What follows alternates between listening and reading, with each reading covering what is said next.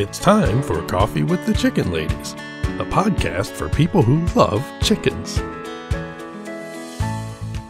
Hey, everybody, and welcome. It's Chrisie and Holly from Coffee with the Chicken Ladies. We're here, and this is episode number 89 of our podcast, where we talk about everything chicken, family, fun, and more chickens, more chickens. We drink a ton of coffee. I'm talking a ton. But most importantly, We hug chickens every day. and we kiss them too, don't forget. We brew coffee from a little coffee house here in Bel Air, Maryland. Holly Ann, what kind of coffee are we brewing today? Mocha. We love mocha. It's delicious. It's so good. So, are you ready to sip some coffee and chat? I am. But first, a word from our sponsor. we have some exciting news to share from our sponsor, Grubbly Farms. This month, you can receive 30% off if you're a first time buyer.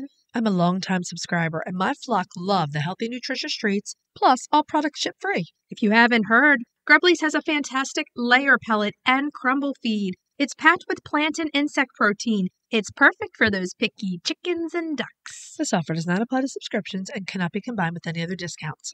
It's a great time to try Grubbly Farms if you haven't yet. Use the code CWTCL30 for 30% off your first purchase. Try it today. So, how are you doing? I'm all right, and you're freshly returned from vacation. Freshly rejuvenated, relaxed, little, I don't want to say jet lagged, but You almost need a day or two of vacation from your vacation Yeah. before you get back into it. well, especially with airline travel, when you're driving 40 minutes to the airport, then Mhm. we're on a five hour flight. Then, after the five hour flight, then you have to drive two hours in the rental van. Mm-hmm. to get to the resort. So then coming back, you have to redo all of that, and you don't have all that excitement in you to get to vacation. Yeah, it's So just you're a long like- way home. Yeah, you're like, oh man, oh man. But you got to come home to the chickies. Yeah, saw lots of feral chickens, Mhm. lots and lots. So yes, happy to be home to all my beloved furred and feathered babies. Missed them so much. Yeah. How was your week? Oh, it was great. We did a ton of work around the farm, lots of stuff in the garden for fall. We also assembled our Nestera coop. Oh, I have to get on that. Yeah, more about that in an upcoming episode, but let me just say it exceeds my expectations in every good way possible. Good because it's going to be an additional part in our new run that's being built. Right. So Mm-hmm. soon that will be out there and Yeah. our new run will be built. That's the thing I'm excited about being back for. Mm-hmm. Getting all the displaced chickens back Oh, where yeah. they need to go. Yeah. We also really pushed the integration. We're about to do the full integration for our original batch of chicks this year. Mhm. They've been out with the Brahmas. Oh, good. Yeah, so that's going very well. That's awesome. Mm-hmm.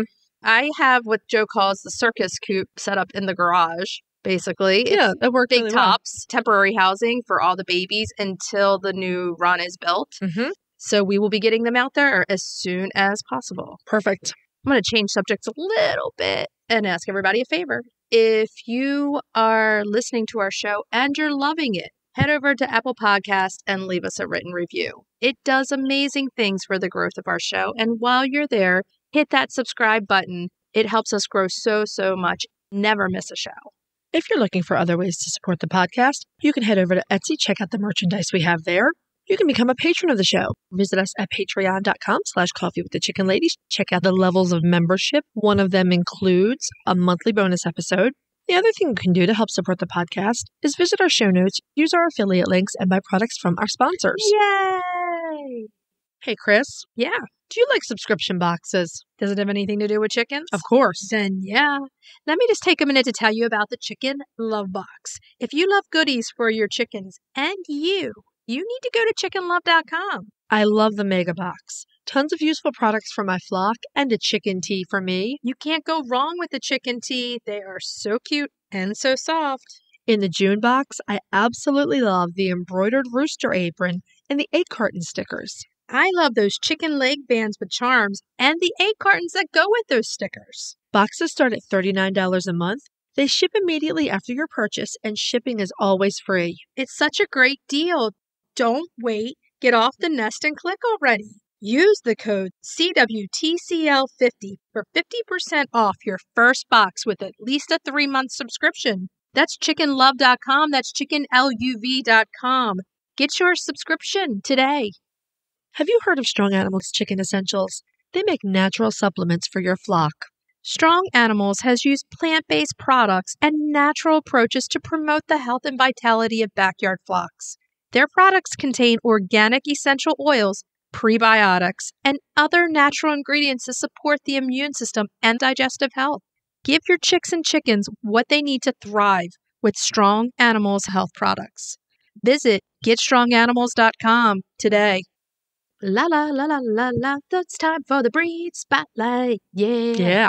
Breed spotlight this week is The Catalana. the Catalana. We're going to be talking to somebody in our main subject coming up later that's going to explain why we're doing this chicken today. But this chicken is a little chicken that needs some big help. Mm-hmm. The Catalana is more formally known as the Catalana del Prat Leonada, Mm-hmm. or just the Prat. Related to Chris? No, Oh, that's different spelling and everything. That's a shame. It originates from Catalonia, Spain, near Barcelona. Okay. It is a dual purpose breed, and it's one of the larger members of the Mediterranean class. Right. They were developed during the end of the 1800s, and it's probably from local country birds, Castilian chickens, and they were crossed with whatever Asiatics were at hand. Okay. It seems like the late 19th century, and this makes perfect sense. Anytime someone wanted to beef up a breed, they went right for the Asiatics. Because they're big. Langshan Brahma Cochin, right? Yep. They are currently listed as critically endangered on the Livestock Conservancy's poultry conservation list. Basically, number one critically endangered. Yeah, if they're not one, they're definitely like the top three. They're, Yeah. yeah. The Catalana was exhibited for the first time at the 1902 World's Fair in Madrid. Okay. They've been more popular in Spain and Latin America than here in the US, but they were reasonably popular here during the mid 20th century, and they were accepted into the American Poultry Association Standard of Perfection in 1949. Sounds good. They're a true mid century chicken. They are. I cannot say it enough. We need to help this chicken, though. It's in real, real big trouble here, and we need to help it. Yeah, and the thing about them is that they're kind of awesome chickens and they're good at several things. Yeah. They're very robust and healthy. They're good layers that don't go broody. They remind me of an Orpington, a buff Orpington kind of. The color wise, right? yeah, right. they're buff. hmm They're cute little chickens. They are. They're good foragers. They're very active and they are great for turning over garden beds. Well, they're Mediterranean. They're going to be. exactly. And because they're Mediterranean, they are extremely heat hardy. Yeah, that'd be a great chicken for southern U.S. Someplace in the U.S. where it's always warm. Mhm. They will need some protection from cold and frostbite because they have those big combs Yeah. in the far northern climates. But with most of the world currently under a heat wave, Yeah. they sound like an excellent choice for a homestead or a backyard flock.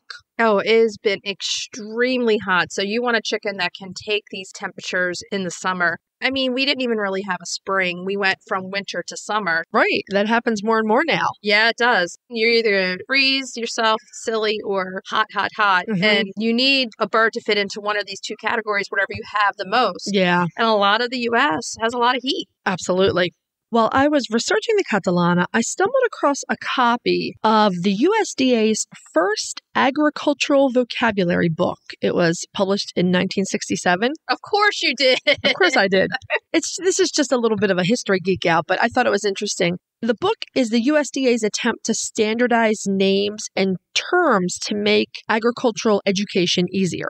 Unfortunately, what this did in a lot of cases was it removed the breed's original name and along with it, more information about the breed and their indigenous roots. For example, the Catalana del Prat Leonada was included. The USDA suggested that they simply be called Buff Catalanas, okay. what you lose there is the information that this bird came specifically from El Prat, which is a farming community outside of Barcelona. Yeah, which helps when you're going back and trying to do research and figure out. It but does. you found it, so we know it. I found it, right. Other people have found it. And I get what the USDA was trying to do. You have a goat with three different names. How do you know you're all talking about the same one? right. But it's one of those things that if you're trying to research the origins of a heritage breed, the rest of the name can be important. It's geographical. It's in their name usually. Right, right. So In most of the world, the Catalana only comes in one color. buff. Right. But there is also a white version in Spain. Okay. One of the features of the Catalana is something that I think is so beautiful. My buff Nankins, they have slate blue legs, Mhm. which I think looks gorgeous against the buff. Yeah. They also have white earlobes, Mediterranean. Right, I mean, that- they're going to lay some white eggs. Right. Because they have white earlobes. that high Mediterranean tail, and then they have very dark eyes. The roosters are very handsome. They have tall, straight combs, long wattles, and really gorgeous black green iridescent tails. They are definitely handsome boys. The hens have the usual flop over comb that you see on all the other Mediterranean hens, but the ends of the Catalana's tail feathers are black. Yeah, it's a lot of chickens you notice have that little underlying blackness in the back Yeah. of their tails, depending upon their breed. Right. But it is cute. It does kind of set them apart. You, Mhm. s- you know differently at that point. You're not looking at a big old Buff Orpington. Uh, You're right, looking right. at a Catalana. Also, they're lighter, so you can tell. But the black feathers are really noticeable on the ends of the tail. It sets off the buff even more. It does. And I noticed on Spicy, my Rhode Island Red, that she has the black under feathers on her tail too, Mhm. which is so cool. Yeah. Now, this breed is a little bigger than most of the Mediterraneans. It does look bigger. I think the only breed bigger than them is the Ancona. Okay. The breed standard calls for roosters to weigh about eight pounds and hens about six pounds. Now, that's the breed standard. That's big for a Mediterranean. It Very is. big. However, that's the standard. The reality is that these birds are so scarce that I couldn't find enough information to come up with an average weight on them. So I just had to go with the ideal weight from the standard of perfection. Yeah, I mean, six pounds. Some Orpingtons are six pounds. Mm, that's my Swedish flowers. yeah, That's uh, that's not little for Mediterranean. that's that's, a- large. that's yeah. a good sized bird. Yeah. for I mean, they're a dual purpose bird. yeah. Uh, It's obviously stayed in their DNA. So, like we said before, they're going to lay white or lightly tinted cream eggs, and they're going to give you about 180 to 200 a year, which isn't great for Mediterranean, but isn't bad either. Still about four a week. Yeah, They're often described as flighty. But one of the few actual breeders I found said that she doesn't think her Catalanas are flighty. She just considers them active and curious. yeah, I think that's a better way to say flighty. You know, Mhm. active, curious, stand guard. They're going to want to protect themselves, Good instincts. and you're going to have to work with them. Yeah. And Yeah. that's isn't that the glory of having these chickens is to work with them and not just put them down and yeah, and to handle them Mm-hmm. and to love them and not just to put them down in the grass and say, "Oh, they're flighty." Since this is a bird that needs conservation help, I feel like the sight of a whole flock of these is probably absolutely gorgeous. Oh, I'm sure. So, where can you get them?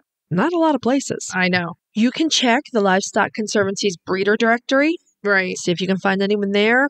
Your best bet, now this is straight run in lots of, I think, 15 or 20. Right. Your best bet is Sandhill Preservation Center. Okay. They have been working with this breed for several years and they do have nice breeding stock.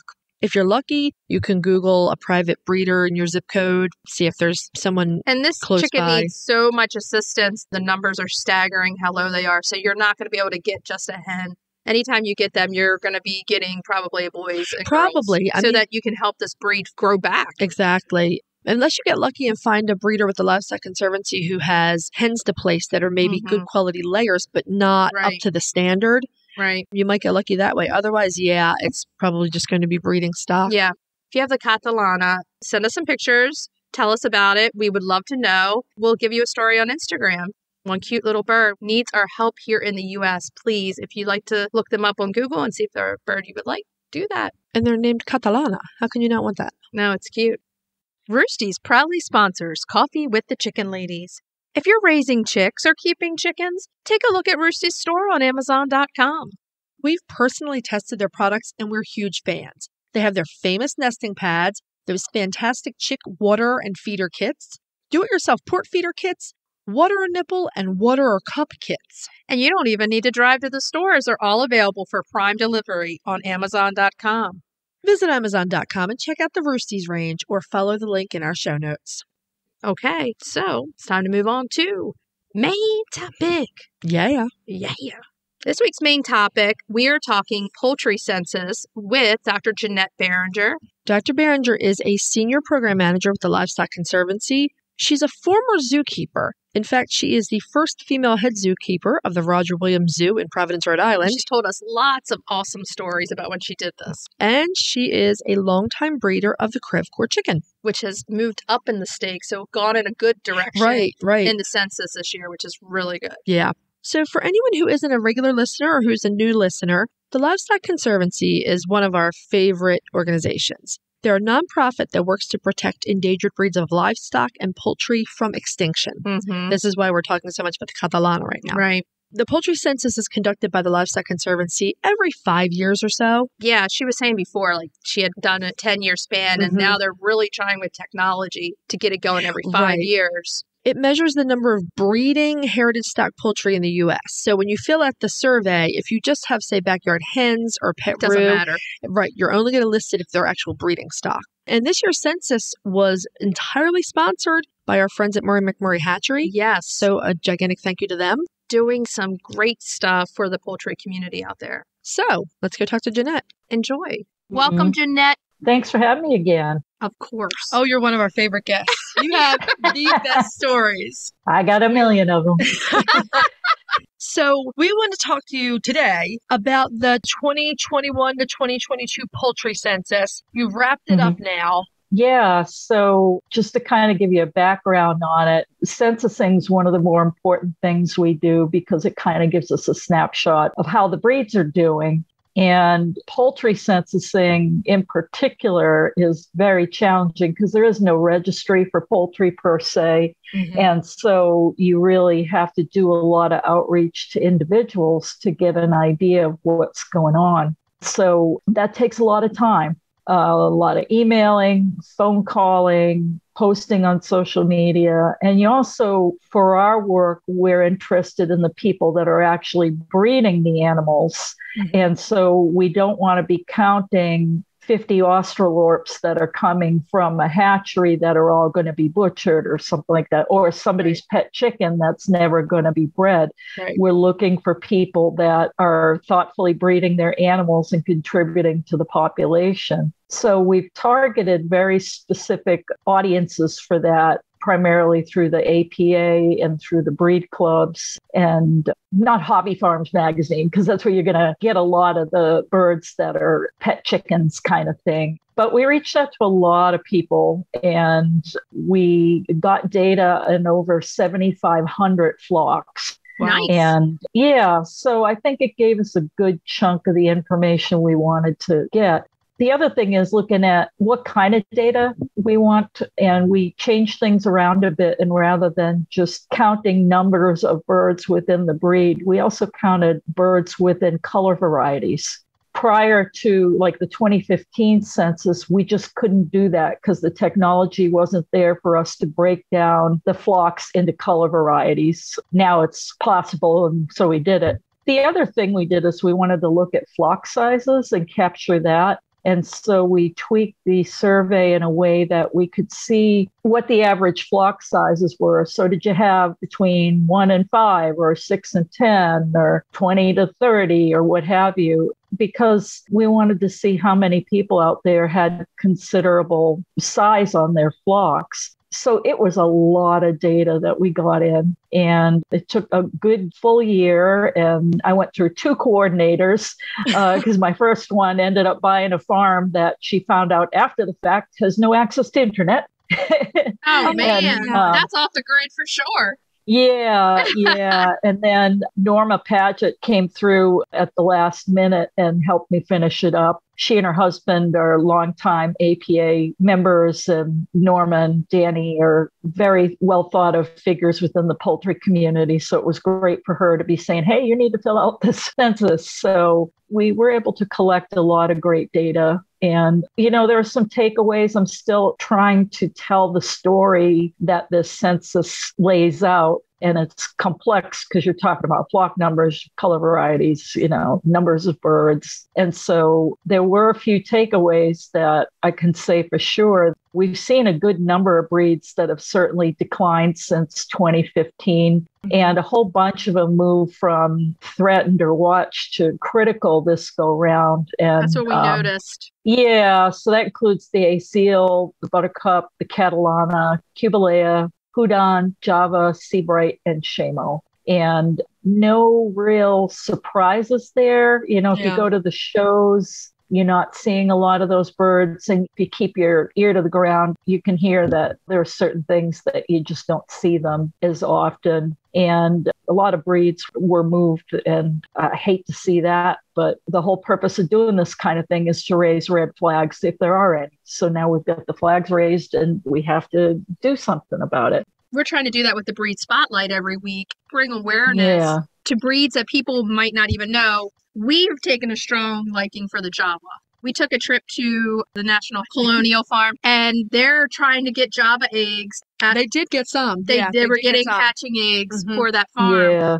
some of these chickens, they just need awareness. Where can I get them? Where can I help? So yeah, and that's where the, the conservancy comes in is we've got a list of people that have the birds, or if they're not on the list, but they happen to participate in the survey, I can reach out to them and ask, hey, can I connect you with this person looking for eggs? Because I don't want to publish people's information if they don't want it published. Right. So there may be people out there with them. But Java, yeah, that's an important one because it's an old American breed. And if we're not conserving them here, it ain't being done elsewhere.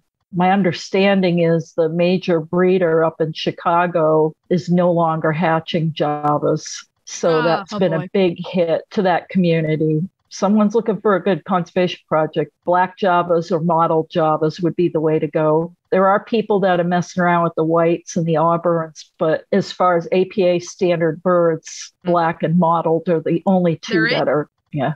You mentioned color variety, and we did notice in this year's poultry conservation list that the Rhode Island white has its own presence there. Is that something that came out of this poultry census? Well, the Rhode Island White is a separate breed from the Rhode Island Mhm. Red. So they're not considered a color variety. Okay, Um, separate breed. Yeah, they're a separate breed. One of my favorites, I kept Rhode Island Whites for a long time. They're great Oh, birds. nice. The history, like I'm from Rhode Island, and there's this really fancy hotel in downtown Providence called the Biltmore. And back in the day, they actually had a flock of Rhode Island Whites on the roof of the hotel that provided Nice. eggs and occasionally fresh meat for the hotel guests Oh, that's and I super get cool. I got this great newspaper clipping from back then talking about the flock, and it's pretty interesting to imagine the Biltmore with chickens on the roof. That's pretty cool. That, yeah, that's very cool. Yeah. Is there any connection between the fact that so many of the birds that end up in the critical list are white egg layers? Yeah, it's because people have it in their heads that brown eggs are fresher or better or taste better. And that's absolutely not the case. Right. You know, it's Exactly. just Egg is- creative Yeah. marketing. I think white eggs declined because they show dirt better. So you've got to Yeah. clean them a little bit extra. Then you can pay $10 a dozen for blue eggs. Oh, yeah. You know? Yeah. And they taste just the same. They're, They're all exactly the the same. same Yeah. thing. So, were there any good news stories on the census that you can report to us? A big leap for me personally is the Crev Corps. The Crevecoeur moved from Awesome. critical to threatened, and that's taken about nine years worth of work to get people Wow. excited about them and breeding. And yeah, we found over 800 breeding birds. And when I first got started with them, if there was 100, we were lucky. Really on the brink. So I'm really excited about that. And the other one is the Cotton Patch Goose. They went from critical to threatened. And Wow. I think that's also largely because of the active group on Facebook, and they're Mhm. talking about the geese and being excited about the geese and figuring out how to breed them because they're a bit more challenging than other goose breeds in that they can be aggressive with people and with each other. so people are figuring it out. We just gave this micro grant to a, a breeder that created goose tractors. And for the first time, she's having zero mortality in goslings Nice. because she's able to separate the geese so that the pairs have their own spaces and they don't kill each other's birds or trample the goslings because they're running after a competitor. Yeah, so Cotton Patch was a really feel good story. Another interesting thing is on the advice of David Anderson, who was a former president of APA,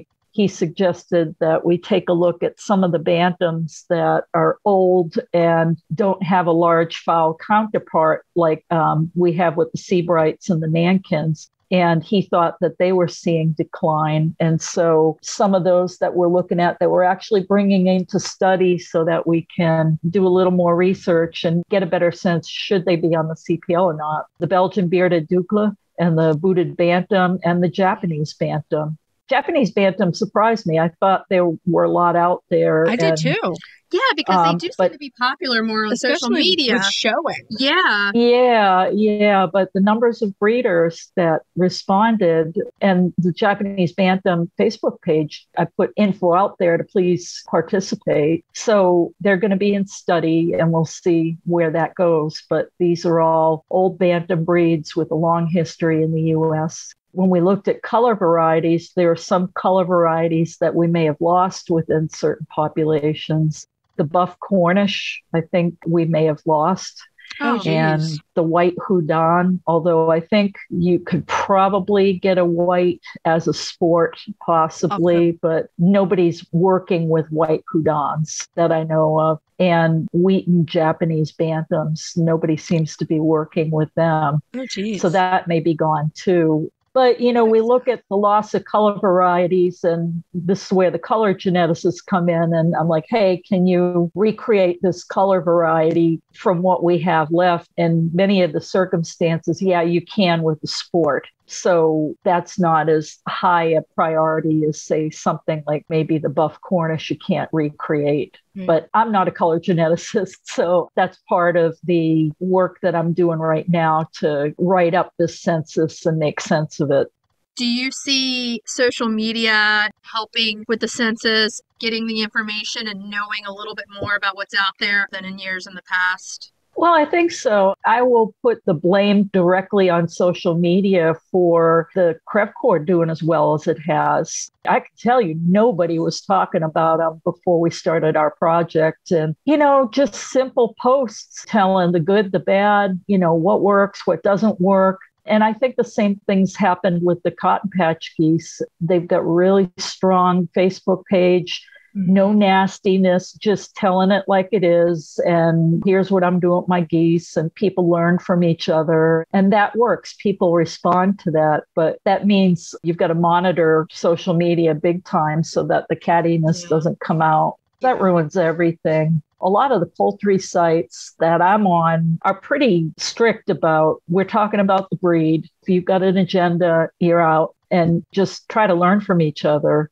but I think it's the social media outlets where you post stuff regularly because if you only do it like once a month or so, people lose interest. Posting all kinds of stuff. People love history stuff, they love cooking stuff. Definitely being active on social media and posting things that are useful and interesting to people, not just, hey, this is my pet dog and isn't he cute? you know, you want to do more than that. Personally Yeah. speaking, I started my Nankin flock simply because the Nankin breeders groups are fairly active and friendly, Mhm. and I was able to find a local breeder. We- We drove to New Jersey Yeah. to get my Yeah. flock starters and eggs, and it was very doable. But I never would have found her without that Facebook group. And I think it's so important. Yeah. Sometimes technology helps us. It can. It, it really helps us bridge Yeah. that gap between people. But like you said, we have to be kind to one another and take out that cattiness Yeah. and whatever, all for the greater cause of saving these breeds. It hurts my heart when I hear you say this one is no longer. How many years in the making was that variety? Exactly. Yep. Yeah, so I think that the Crevecoeur and the Cotton Patch are on the right path. Breeds are going to come and go. So that's why we do these census efforts so that we can just make sure things are moving along okay because it's real easy for a breed to slip back. With the turkeys, we found that the slate turkey slipped and they moved from watch, which they were very comfortable in, to threaten because there's just not a lot of people breeding them. You know it's a challenging color variety and if you want to Yeah. show them they're not easy to perfect that color but they're beautiful beautiful birds but they're big. They take a lot of resources and you got to hatch and grow a lot to get the few that are going to make the cut as breeders What can the average person do besides getting their own breeding flock to help the cause? Well, buy from breeders. Certainly, if you take in the step and you get your hatchery birds and you kind of like a certain breed, and then you go to a serious breeder, then understand though, you're not going to get those birds at hatchery prices. You're buying the years of work that's been put into perfecting that bird, but it's also saving you all those years of work. Yeah. If you even know what you're doing. I was looking for just non show Sebrights. And I called up one gentleman that I know has some very fine Sebrights. $500 a bird. It's like, oh my Wow. God.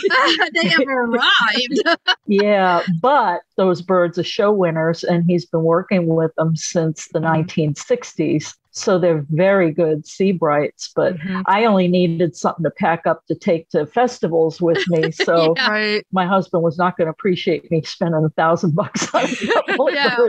yeah. Yeah. my youngest daughter is way into Sebrights. We do not have any bantams here at our farm, but she wants Sebrights. In the worst way. in She the worst does. way. That might be something Yeah. that we try down the road, but I really am interested in the Javas. I really think such a strong chicken, the second chicken of America, shouldn't Mhm. fall through our cracks. I mean, we all have to work together. Well, yeah, Javas are going to be on our list for next year, no doubt. We have listeners across the board. We have people who show chickens. We have people who don't even have chickens yet. If you were a new chicken person, and let's say you're not particularly experienced with animals, what chicken breeds on the conservation list might you recommend to someone who wants to start with a heritage breed? Well, certainly stuff like the Rhode Island Red or Javas are easy keepers too. They're just hard to find.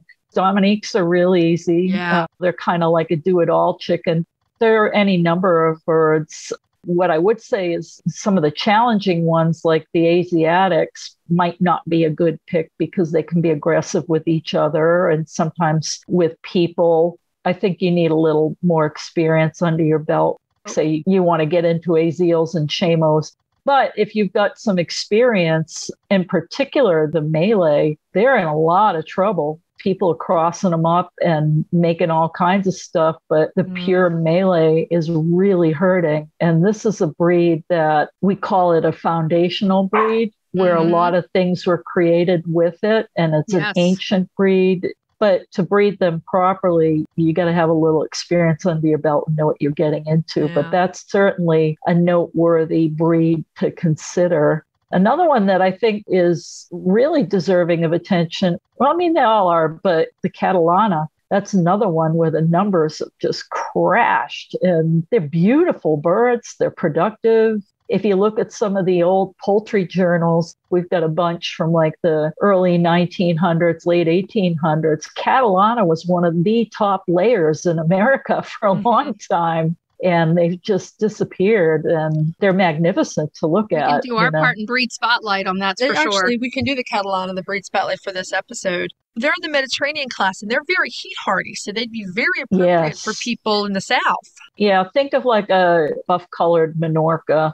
They're not quite as big as Minorcas, but Mhm. they've got magnificent crests. They've got huge combs. And I've always thought the roosters were gorgeous. As a breeder of poultry, I've never bred buff colored birds, but to perfect that color is a pain in the patoot. And I think that's part of the reason they've not taken off. People that work with buff birds, you've got to appreciate their fortitude because buff is just a really hard color to perfect. I, the Nankins are essentially buff, especially the hens, Mhm. and I never appreciated how many different color feathers could be in a buff bird until I hatched my Mhm. first litter of Nankins. And we work with Fiona Yeah. over in England, who is a buff Buff Orpington, Orpington breeder, breeder. and her Yeah. birds are absolutely gorgeous, and she puts so much Yeah. That's into also them. like 10 years of breeding. Yeah, so like you said, you do have to appreciate. I mean, to get more people into it for the conservation efforts, get excited, get inspired, help save a breed of animal. You're doing so much work traveling the country, educating, and getting Mhm. everybody aware of this. Thank you, Jeanette, for doing this because without somebody Oh. like you, we would not be aware of what's going on. Well, thanks. We've also been working on a joint project with APA in documenting master breeders to pick their brain about their breed and some of the things to look out for as a breeder. Thinking of, of buffs, I interviewed Lou Horton, who's very well known for his Buff Wyandotte Bantams and he's been at them a while and he's the one where I, I didn't have a full appreciation of just how hard buff is until i talked with lou. I've also just finished a video on rhode island reds and they're both on the apa website and it's called secrets of the masters And I've got a whole bunch of interviews that I've worked on with them. And it's just trying to pick their brain on the finer points of working with that particular breed that maybe isn't written down anywhere, but it's in their Yeah. heads. So we're trying to pull that out and document it. And I've learned so much. I know enough about poultry to be dangerous, but then you go talking to these guys and you're like, I know nothing. You know? Yeah. Speaking of the Malay, the Rhode Island Red would not be here without the Malay. It was- Correct. It was one of the Mm, foundation that is breeds the correct. Rhode Island Red and It my beloved. Brahmas as well. If the average person is like, okay, can I go to the Livestock Conservancy? Can I join? What do we have to do to do this? there are a number of different levels. I do like $5 a month, and that keeps my membership current, and I don't have to think about it. And it gives them a little extra money at the end of the year beyond my membership. And then we have other levels like life membership, but a majority of the money goes towards the work.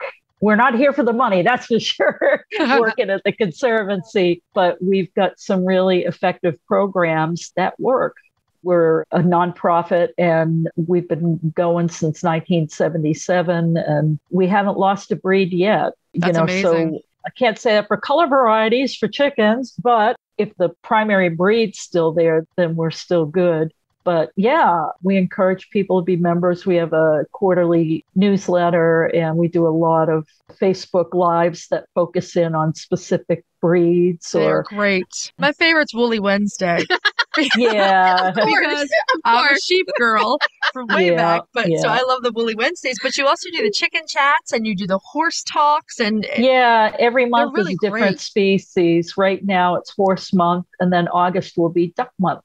Every month is a different species, and then the month of May is when we celebrate our anniversary and International Heritage Breeds Month. So we talk about what other people are doing around the world with their breeds. Because, you know, every country has native breeds and they're most likely rare. And, and so it's neat to see what's going on. We're members. We have some wonderful listeners who have joined the Conservancy. and have told us, Uh, yeah. yes. So I'm thinking of one in particular, Sarah, and one of the breeds Sarah got is one of the breeds we want to talk to you about. One of our favorites Uh-huh. is the white faced black Spanish.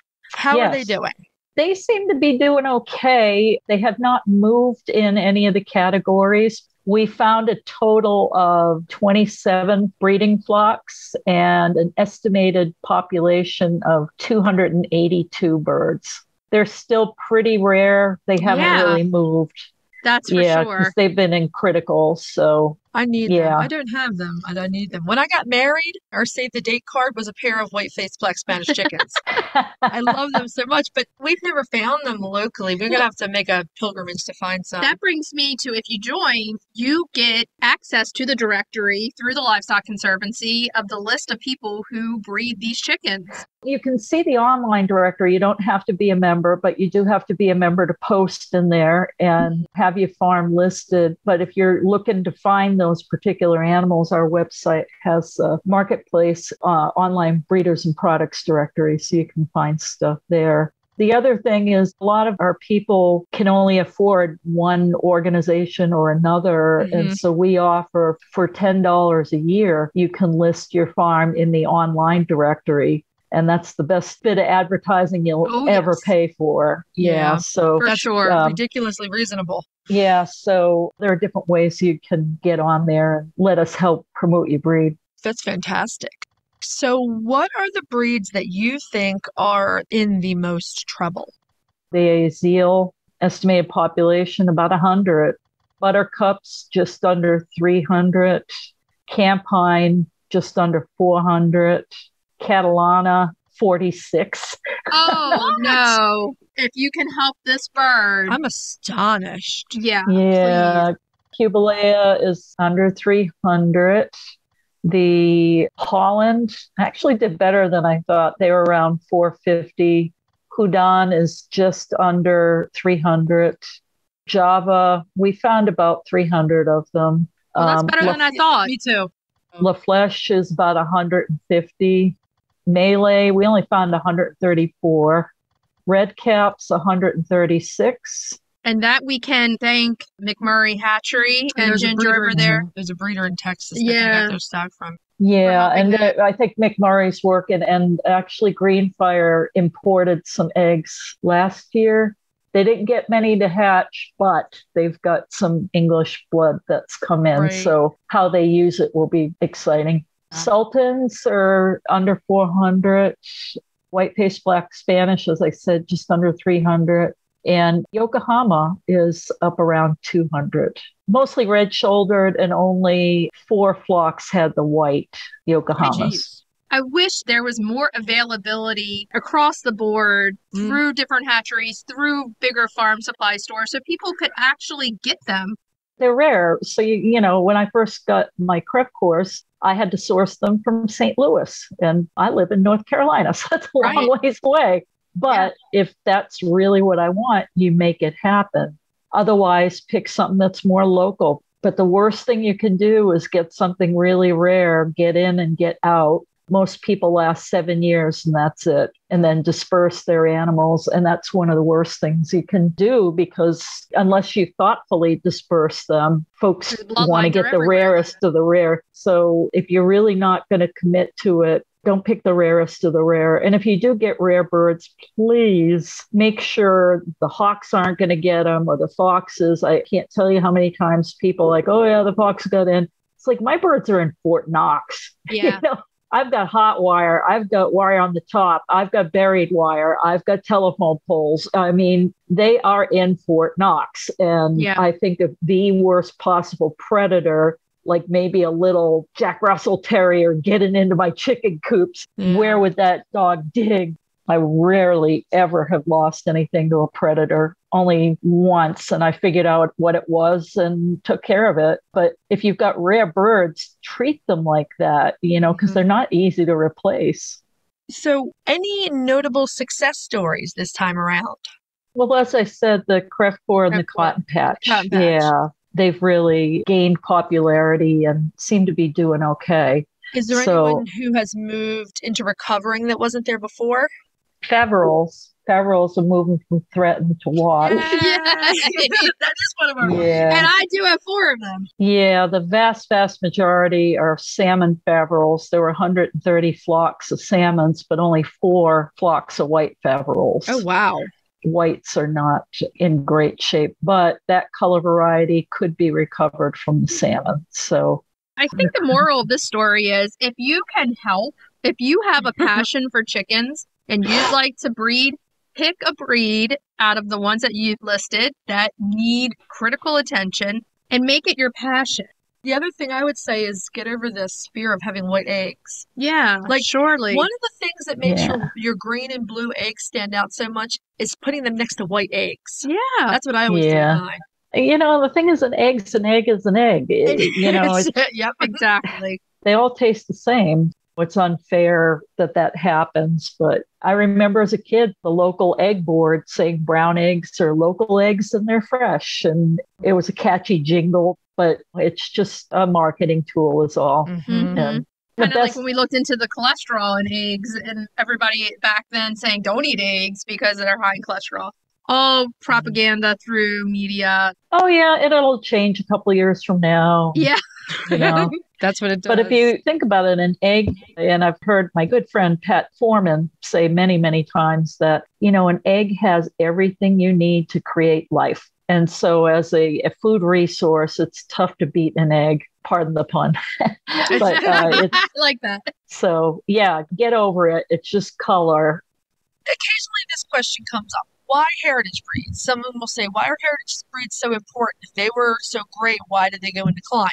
We explain pretty much every week the history of why they go into decline. Uh-huh. But what's so important about them? What do they do for biodiversity? Well, that's the point is biodiversity, and that these animals represent genes that many times may not be found in commercial stock. We're doing a DNA study right now with heritage chickens and are finding some gene variants within the heritage chicken populations in the area of the DNA that's their immune function. And there are gene variants within their immune function that are completely non existent in commercial birds. Wow. So they obviously have something associated with their immune systems that commercial birds don't have. What if it's a disease resistance or parasite resistance or just a, a robust immune system in general? What we can say is it's non existent in commercial birds. Right. So we think that's pretty important to keep around. We don't know exactly what it is, but what we do know is if they go away, so do their genes.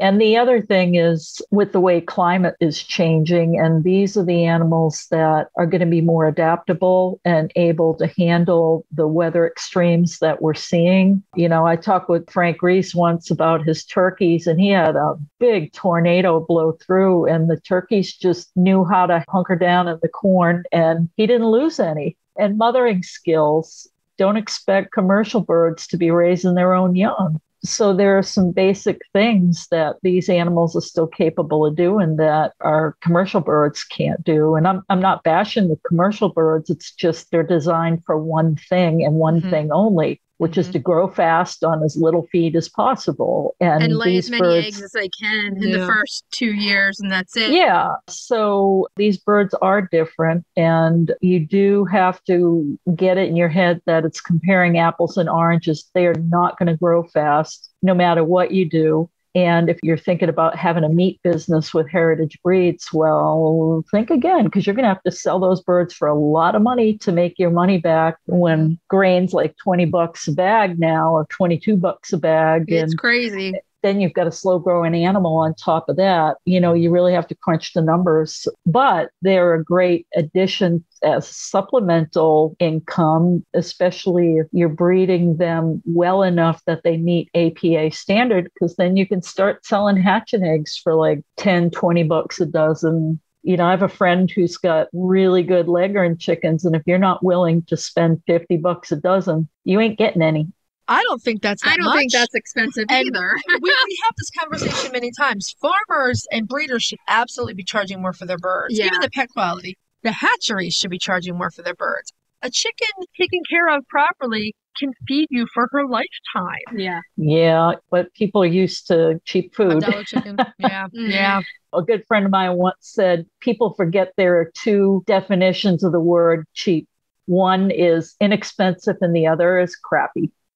So you just so got to keep that in mind and understand you're paying them a higher price because you're paying for the work that person put into that yes. breed if they're on the up and up. Buyer beware, make sure that you research who you're buying your birds from and ask are they NPIP tested? If they're not, eh, next. Do they make APA standard? Well, no, eh, next. So educate yourself on what you're buying. And the other thing I wanted to mention that I didn't touch upon was flock sizes. Of the 7,500 flocks we surveyed, only 122 of them are more than 50 birds. Wow. That's something that is good and bad. To do really well with a breed, you've got to hatch a lot of birds. Yeah, and so, with small flock size, it's going to take you longer to get to a level of excellence. And that was somewhat alarming that there's not that many big flocks out there. But, you know, it's not a surprise. Feed is just so ridiculously expensive that who the heck can afford to feed 50 to 100 birds? It's gone up a lot. Astonishing. I, I, mean, for the average backyard farmer, it's really crazy how much the feed has gone up. Yeah you keep tweaking your system and figuring out, you know, where your losses. I saved one third of my feed bill by wetting my food down. So yep. the birds eat it like candy. There's no waste of food, and my food bill was cut by a third. Yeah, and, we both do mash you know, as well. Yeah. yeah. and they eat it like candy. So it. it's pain in the butt. It's not. yeah, I mean, it's a pain in the butt to wet it down and then clean everything every day, yeah. but definitely has improved growth rates. It's improved size on my birds and and loss of feed. You got to look at things like that to see where are your holes in your system and how can you improve it. Another one was shavings. I went from flake shavings to ultra fine shavings, and I went from having to clean my coop every week to like every three weeks with spot cleaning because it's so absorbent mm-hmm. and the extra fine shavings you can pick through them more easily and it Totally agree. composts really, really fast. Yes. But that's dropped my shavings bill by two thirds, really. So look at those kind of things to try and understand where your heavy burdens are for cost, and that can go a long way for you. I guess the other takeaway is that you might feel like you have this little flock of 25 birds and you're not making a difference, but with numbers like this, you, You are. you are making a difference. Yeah. Yeah, I'm not saying a small flock can't do something substantial. It'll take longer. It'll take You longer, know? right? if we can get more people with smaller flocks, it can help. Like, say somebody can only do 25 chickens, but then they tell their neighbor, their neighbor's like, Yeah, I think it's really cool. I'm going to do this. And the power of people, you get more people, Mhm. smaller flocks. Yeah. You, you can get the same. Yeah. Thank you, so- Jeanette, for all of your work you do. It's amazing. Without you doing this out there, we would lose a lot of breeds. Thank you for coming on the show and taking the time with us and educating everyone that's listening about the census and how important it is for the chickens in the U.S. Oh, you're welcome. Thanks for having me. You can come on Anytime. anytime you like. Till next time. Bye bye. Bye. We just want to say thank you one more time to Dr. Jeanette Beringer for coming on the show. She's really one of our favorite people to interview. So much fun. Yeah, and there's a lot of food for thought in the results of that census. Yeah, some of it is Mhm. really sad. Mhm. So take a look. If you're on the cusp of wanting to help a heritage breed come back in, one or two breeding hens and roos, maybe you can help. You helped with the Nankins. with my nine napkins. Mhm. you moved them out of that category. okay, so now it's about that time for Cracking the eggs. cracking those eggs. And today we're doing, Creme brulee. because that's one of Jeanette's and her husband's favorite recipes. Mhm. Creme brulee looks and sounds very fancy. There are a lot of little steps to Yeah. it, but it's actually easy to make. And it uses four egg yolks. So you have four egg whites to make meringues with or something Yeah, like that. Yeah, exactly. It's easy to find something to use You those could probably just cook up for. your egg whites and feed them to your chickens if you want to. or you can just do an egg white omelet. Yeah. Sometimes I just oh, like oh no, I want some yolk. I know you always like the yolk, but I sometimes just do even especially when I'm traveling, I do an egg white omelet. Okay. and I pack it full of veggies. So, like almost every other dessert out there, creme brulee starts with a custard. And every good dessert starts with a custard. Yeah, right, say that. right. So, if you can have dairy, you're going to start with two cups of heavy cream. If, like me, you cannot, there are a couple of really good dairy free half and half products on the market, and they work really well. Now this is a good one for the DiCarlo household because it's ten tablespoons of sugar. Yeah. Somewhere in this recipe. And this it's divided. So you're gonna use it in multiple spots, but that's ten tablespoons. Right. The DiCarlo house is like, yes, when it comes to sugar. Right. So, we've got our cream, we've got your sugar, Yeah, we got my sugar in there. we have vanilla extract, four egg yolks, and a pinch of salt. Those are all your ingredients. Yeah. That's it. It just goes to show you how good eggs can be with a mm-hmm. little bit of sugar and vanilla. Well, you're going to use even more sugar because it's going to go on top of the Yeah. brulee. Exactly. So preheat your oven to 325. And then you want a baking dish. You want to Mhm. put your ramekins in a baking dish because, again, like a lot of custard desserts, Mhm. you want to bake it in a water bath. Yeah, If you've never done that before, it's really simple. it is so simple. You just put them in there and put the water in until they come about halfway up, and then that is it. It promotes slow and even cooking throughout. And that way, if one has a little bit less, it's not going to matter. Yeah, it makes a dense and smooth texture. It's really nice. So you're going to make your custard in a saucepan. The usual, you're going to heat that until it begins to simmer.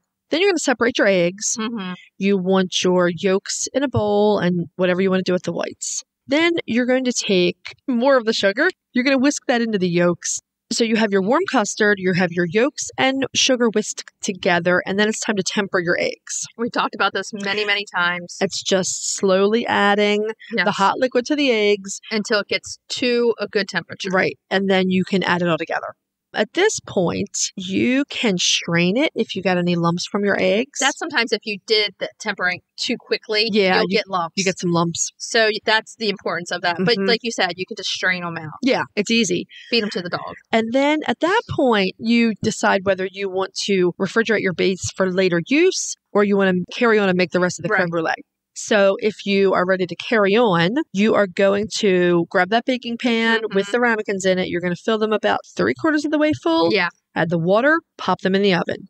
You're going to bake them for just about 40 minutes. Right. They should be set there. And with the temperature being lower, 325, you know that when you bake for even just 40 minutes, they're Mhm. not going to be super solid eggs. You know what I mean? Right. It's going to be a, custard's going to be a soft, soft right. custard. It's a long, slow bake to yeah. exactly. Then the next step is the brulee. Because creme brulee, if you've never had it, is like a little pot of delicious cooked custard with caramelized sugar on the top. Right. So it makes like a crunchy topping for you to break Mhm. your spoon through.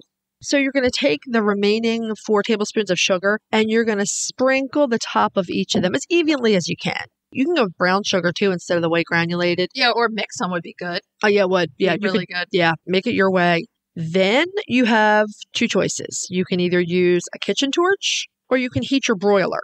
I've never made this myself. I've had it in restaurants. Mhm. But you love the torch, but to me that's one thing I would buy, wouldn't use that much. So I'd probably be using the broiler. I'm all about the broiler. I use the broiler to crisp a lot of stuff. Yeah. So it works really well. Yeah, we have the specific written out directions in the recipe Yeah. on our show notes. But if you're going to do the torch, that takes just a minute or two. It takes slightly longer into the broiler. Oh, yeah.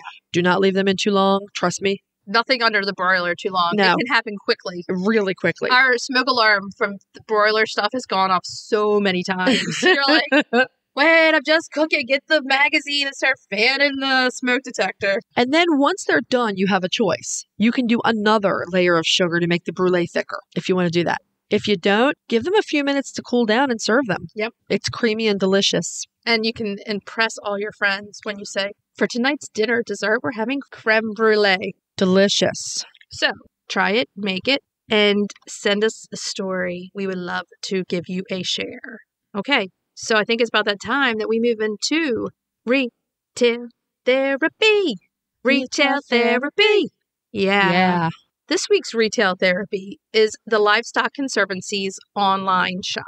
This is one of the ways that everyone can kind of help in supporting the Livestock Mhm. Conservancy.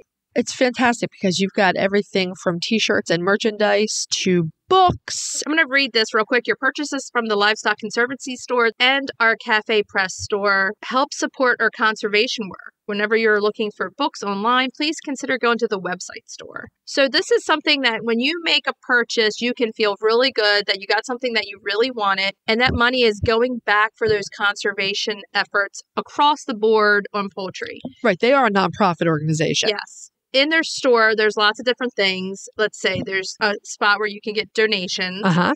You can look for books. They have different categories on chickens, turkeys, ducks, and geese. Books on cattle, rabbits, goats, pigs, sheep, or horses. Farming books, t shirts, webinars and conferences, and membership packages. And then there's a little thing for sponsorship and the newsletter and the breeder's directory. hmm So there's lots of different things to pick from. And I think they do have free shipping. So Definitely for books. yeah, for books, you're going to get free shipping. If you're a fiber artist or a shepherd, you can also, in the online store, sign up for the Shave 'em to Save 'em initiative, Right. That's awesome. which is super fun. There's lots of different books in here. The prices are not bad at all. No, no. Oh, there's a Shave 'em to Save 'em t shirt. I need that t shirt. I haven't bought it yet. What am I waiting for? The t shirts are cute. The women's have the v neck, say the Livestock Conservancy on them. $14.99. That is not a badly Not priced t shirt. And your money is going to help conservation efforts of livestock in the U.S. hmm There's children's books in here, teach them how to do farming animals. Oh, the Introduction to Heritage Breeds. That book, yeah. That was Mhm. a book that we were speaking with Ginger over at McMurray last Mhm. weekend about. That's going to be on there too. Home cheese making, how to build animal housing, make your small farm profitable, all different kinds of books in here that might interest you. And that's the one thing I like is buying from places like this. So it's a feel good buy for Right. sure. Right. You definitely know something's good coming out of your money. hmm So check out their website. There's a donation button there, and there's also the sponsorships.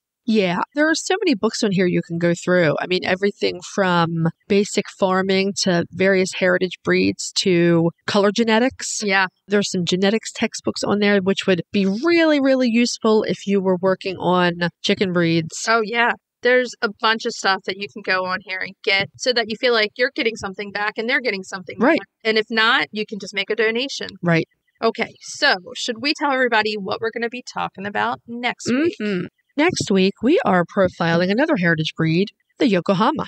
Our main topic is run substrate. That's one we get lots and All lots of questions about.